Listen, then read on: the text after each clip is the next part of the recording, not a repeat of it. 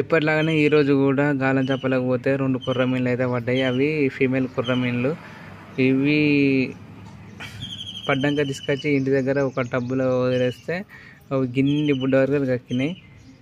అంటే అవి తిన్న తిండి కక్కినాయి అన్నట్టు భయపడి ఒకటి రెండు మూడు నాలుగు ఐదు ఆరు ఏడు ఎనిమిది తొమ్మిది పది.